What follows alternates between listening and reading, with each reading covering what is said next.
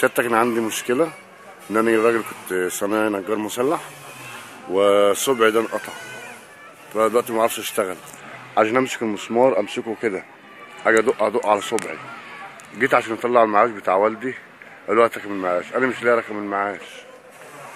فدلوقتي أنا معايا خمس ست عيال أمهم وكده. معايا بنات عايزة تشور آه، مسؤوليات عليا.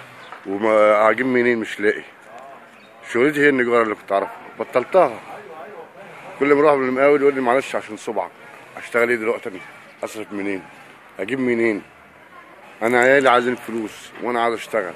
مش عارف أشتغل. أعمل إيه دلوقتي؟ قولي لي أنا أعمل عيش منين؟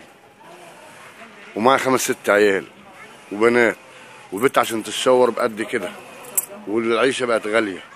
هشتغل إيه دلوقتي؟ أنا مش عارف أشتغل أنا. أنا بطالب الحكومة ان هي تشوف لي معاش ولا أي حاجة. حتى ساكن في المفروش. الشقة أقل شقة اللي ملهاش عايزة ب 300 400 جنيه. صاحب البيت ما بيرحمش ولا حد بيرحم. مفيش دخل داخل لي خالص. فأنا بطالب بمعاش يخش لي كل شهر. بتاع والدي على الأقل. ومعاش والدي يجي. عشان صبع المسمار دخل في إيدي. مش عارف أشتغل. هشتغل إزاي دلوقتي؟ مش عارف أشتغل والله. أجيب منين؟ مش عارف.